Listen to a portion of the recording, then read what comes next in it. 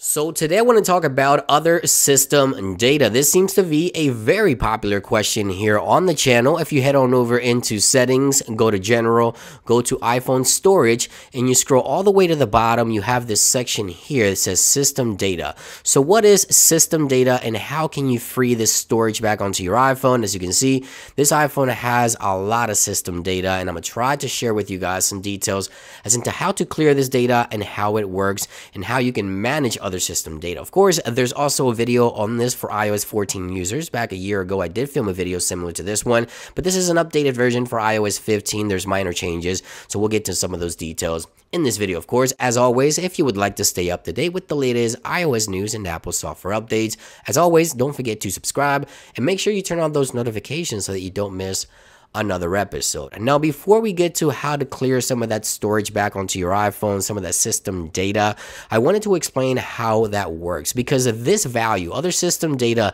directly depends on how you use your phone and what's happening on your device. So, this value will fluctuate every day depending on what you do on your phone. So, for example, if you send a text message or someone sends you a text message, that value will change. The number will change. If someone sends you a video, sends you a photo, that is stored under your messages, right? It isn't necessarily something that you're intentionally saving, but it's there and it takes up storage. That's other system data. This will actually cause system data to fluctuate, right? It will change the number on that number that you see right here. So as you delete messages, this number will change because again, that's other system data, stuff that's taking up storage on your device that fluctuates that particular value. Now, right here, you also get some suggestions here in settings. If we go to settings, settings, general, and iPhone storage, you get some recommendations here. And this is the one that I recommend the most. So offloading unused applications. When you want that number to go down, what you want to do is enable this option. If you don't know how to find it, if it isn't recommended here under iPhone storage, you can go back twice here, go to the App Store settings or the App Store extension right here in settings. And then you want to go ahead and enable offload unused applications. What this will do is will remove apps that you don't necessarily use on your iPhone. Now, a lot of users do forget forget to remove these apps from their iPhone. For example, when you first buy an iPhone, you get these applications from Apple that they're there whether you use them or not. And if you delete these, that number will change. So if we head on over into settings here, we go into general, we go to iPhone storage, and we scroll all the way to the bottom here. For example, if we go ahead and we remove some of these apps that we don't use, for example, I don't use this one here. So let's go and remove this one here. It's going to remove that. That's going to be Pages. It's Apple software.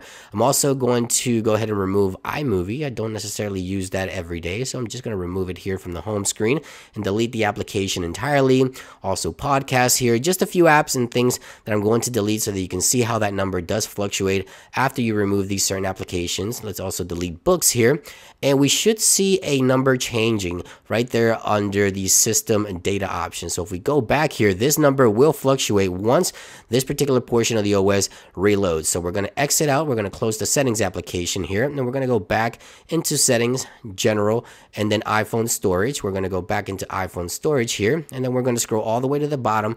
And this number should have changed. Right there it is. So now, wow, look at all the system data that I've removed. So from 50 something gigs of other system data, we went down to six. And that's because I removed iMovie, which was a big factor here. We also can see right here the uh, values for each individual application. So for example, if I remove messages threads, as you can see right here, I can also go ahead and delete some of these conversation threads. That will impact that value as well. If I remove the weather application, the stock weather, that will give me back 132 megabytes or so. And you can see right here, each application has a separate set of numbers that will directly impact other system data. Another thing you can also do is head on over into your Safari extension as well.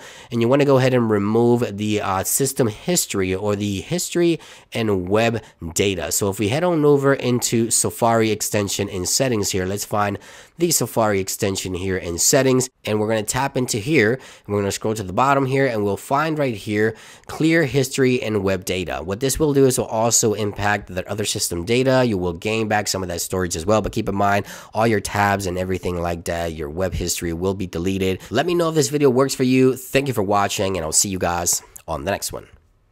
Peace.